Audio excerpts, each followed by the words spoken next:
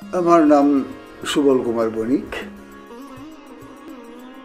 আমার আত্মপরিচয় দেবার মতো উল্লেখযোগ্য কিছুই নেই, একটিমাত্র পরিচয়, সেটি হলো আমি একজন ব্র্যাক কর্মী। ব্র্যাকে কাজ করবার আগে আমি একটি স্কুলে শিক্ষকতা করতাম। আমি আমার স্কুলের ছাত্রছাত্রীদের ভাষা, সাহিত্য, জীবন সব কিছু মিলিয়ে যে আলাদা একটি জগৎ, সেই জগতের দিকে উদ্বুদ্ধ করে তোলার চেষ্টা আমি করতাম। উনিশশো ছিয়াশি সালে তিরিশে এপ্রিল আমি ব্র্যাকে যোগদান করি। উনিশশো নব্বই সালে আমি প্রকাশনা বিভাগে এসে কাজ শুরু করি। তখন আমাদের প্রচুর গল্পের বই স্কুলের বাচ্চাদের জন্য রচনা করা হচ্ছিল।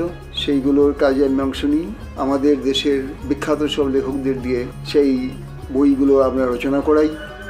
দু হাজার ছয় সালে আমাদের প্রখ্যাত সংবাদী গোলাম মুর্তজা একটি আবেদ ভাইয়ের সাক্ষাৎকার ভিত্তিক একটি বই প্রকাশ করেন। সেই বইয়ের সম্পাদনার কাজে আমি অনেক শ্রম দিই।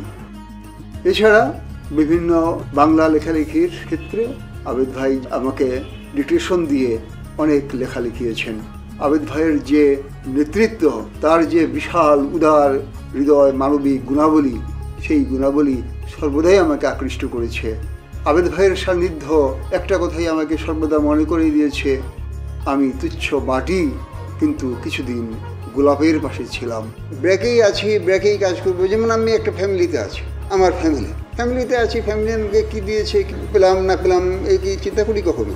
তা আমার কাছে ব্র্যাকের ব্যাপার ঠিক ওরকম তারপরেও ব্র্যাক ডে উদযাপন এবং ব্র্যাক অ্যাওয়ার্ড দেওয়ার যে ব্যাপারটা এলো, আবেদ ভাই নিজে তিনজনের মনোনয়ন নিজে হাতে রাখলেন এবং সেই মনোনয়নের আমি একজন। এর চেয়ে বড় প্রাপ্তি আর কি হতে পারে?